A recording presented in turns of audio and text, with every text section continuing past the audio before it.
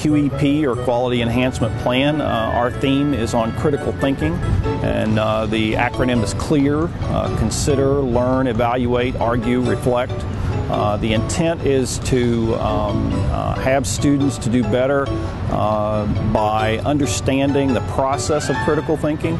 This is something that's just very positive. I mean, it really is owned by the students and the faculty. It's something that we're hoping to put in place. Uh, in today's world, we see that, that students get so much information from so many different sources that critical thinking allows them to um, hone in on facts, to uh, understand the, the, their thought processes better, uh, to get at um, uh, answers that are true uh, more quickly.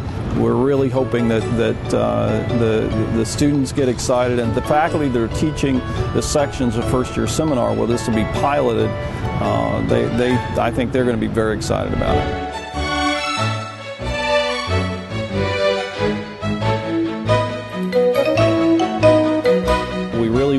Wanted to advertise why our accreditation team was visiting here. Uh, we've had uh, a number of meetings though with student groups. I've met with uh, uh the student government recently uh, twice and talked with them about it and really recruited them to help us during our SACS visit. they've been great and I think they're pretty excited too about this, this becoming part of our process.